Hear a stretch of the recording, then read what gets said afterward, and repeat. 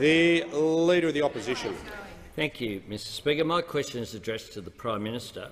Why did the Prime Minister deny using the phrase Shanghai Sam, something he did at least 17 times, including in this House?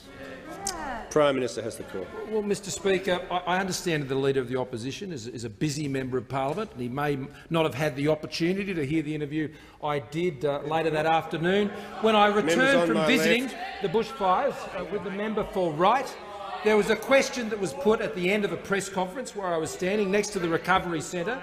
And, Mr Speaker, I heard the word racism used twice in that question, and that's what I was referring to. So, Mr Speaker, if the best that the Leader of the Opposition can drum up is that withering attack, Mr Speaker, then I'm sure there's a lot of optimistic people who sit on the backbench of the Labor Party who can see a big opportunity for themselves.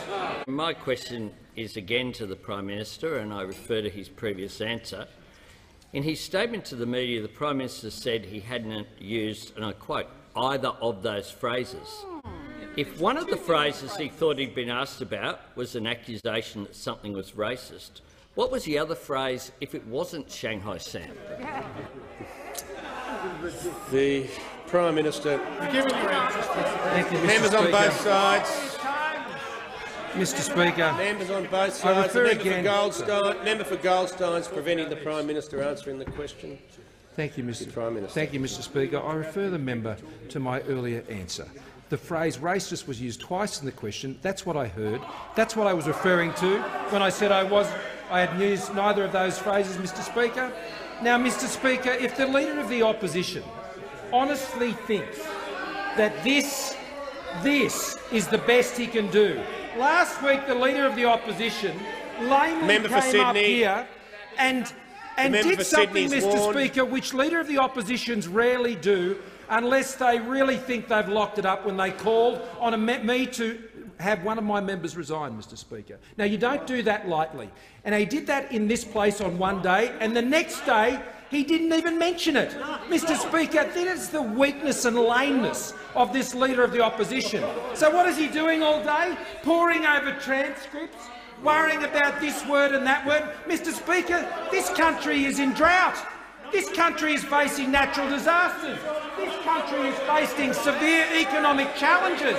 And the Leader of the Opposition is, is running around like a researcher looking up grabs. Grow up! My question is again to the Prime Minister, and I again refer to his previous answers.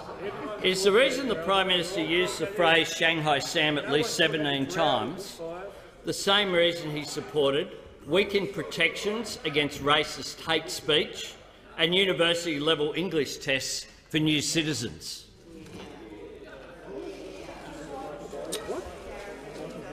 The Prime Mr. Minister has the call. The uh, Leader of the Opposition once said at the National Press Club, he said this, Members on my he said, I'm, re I'm reminded of it, Mr Speaker. Members on my left. talking about serious people for Prime serious Minister. times, Mr Speaker. I'm not going to Prime table it because he gets enough publicity carrying on with this nonsense every single day, Mr Speaker.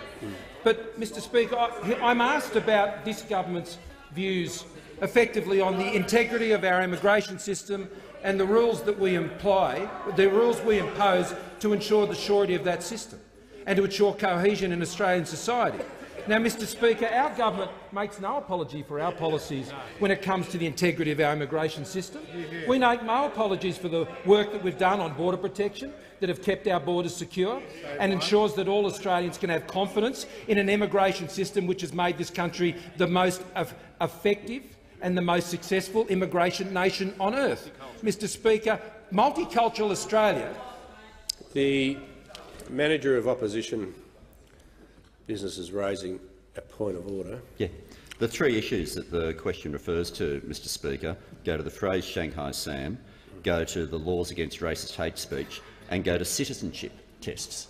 And the Prime Minister is speaking about none of the three. Well, the Prime Minister was just mentioning multiculturalism, so I thought after, after his preamble he was coming to some of the points that are in the question.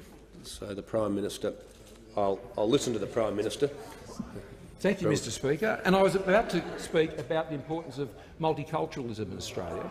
And Australia has the most successful multicultural record of any nation in the world today. And the Member policies that we've pursued as a government have only made that stronger.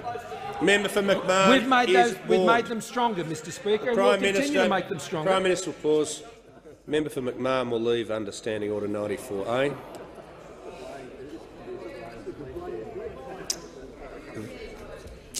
Prime Minister has the call. But thank you, Mr Speaker. But on the first matter which the member raised, the reason we have foreign interference laws in Australia is because of the former Senator Dastyari, Mr Speaker, and the Labor Party should well know that. Their record on this issue is an absolute shambles, and they can try and distract and uh, attention from their own rows, where it's because of the New South Wales ALP branch of the Labor Party and their plastic bags and cash, or the disastrous role of the former Senator Dastyari, Mr Speaker, and the fact that he had to resign because of his own actions. They can run from these issues, Mr Speaker, but they can never hide, Mr Speaker, and nor, nor can they hide from what the Labor leader in New South Wales said before the last state election, that Asians would take their jobs, that Asians would take Australian jobs, Mr Speaker. That's the true out of the Labor Party. That's in fact why they were started, Mr Speaker.